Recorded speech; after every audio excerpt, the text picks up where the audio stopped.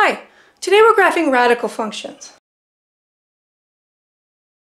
I chose this function f of x equals 2 root x plus 5 minus 3 and I set up a graph and a couple tables. My favorite method to graph these radicals is by shifting the parent function. So first we're going to identify that parent function and then we'll shift the function based on what we see inside and outside of the radical. The first thing we have to do is identify the parent function. Now we're going to take the shifts out and we're just going to leave in the a value and the x. 2 root x. The 2 is important because it changes the, the shape of the graph, not just where the graph is on the grid. We are going to take out these shifts um, and we should identify them now. So we have a, a plus 5 and we know that inside is always opposite. So that plus 5 means we're going to be going left 5, so minus 5. And outside the, uh, excuse me, outside of the bracket, the negative 3, uh, we know that that's just going to shift down, down 3. Let's plug in some points here to get our uh, a couple points for our, our parent function. The easiest point to plug in, of course, is 0. 2 times the square root of 0 is just 0. We can also plug in 1. Square root of 1 is 1. 2 times 1 is 2. Now this will always be the a value. Whatever the a value is, if you plug in 1, you'll get out the a value uh, as your y value. So now let's shift the function. We see that we're going left 5 to all the x values. So 0 minus 5 is negative 5. 1 minus 5 is negative 4. And we're going to shift down our y values. So 0 minus 3 is negative 3, and 2 minus 3 is negative 1. So now we can plot these points. Negative 5, negative 3, and negative 4, negative 1.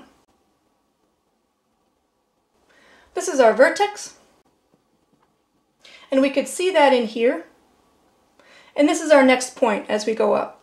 Now, how do we go about getting more points for our graph?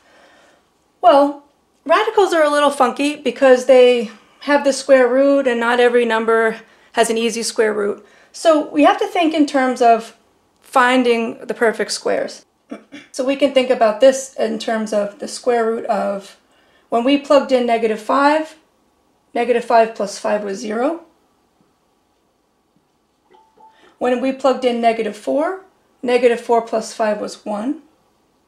0 is a square number, 1 is a square number. Our next square number is 4. What would we need to plug into x in order to get a 4 out of here?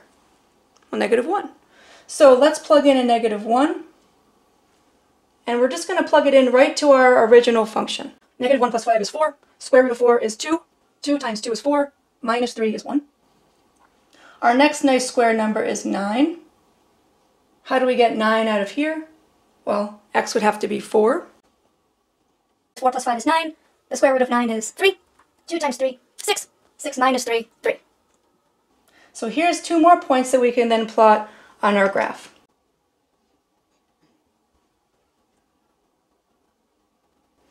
And then we can connect.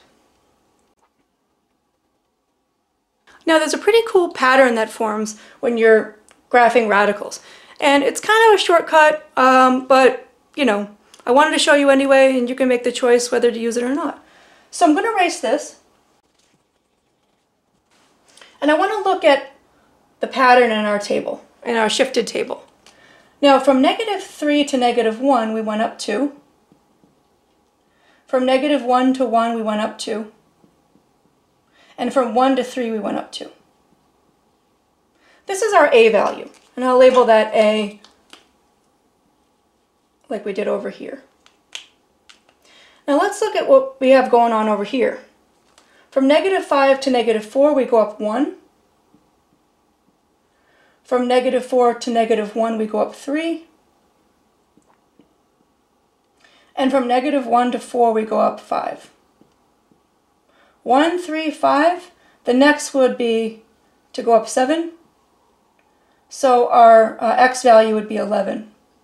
If we plug that in, 11 plus 5 is 16, which is a nice square number. The square root of 16 is 4. 2 times 4 is 8. 8 minus 3 is 5.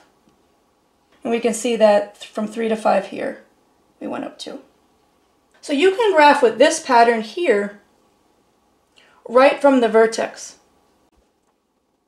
From there you go up A over 1, up A over 3, up A over 5, and you'd go up, up A over 7.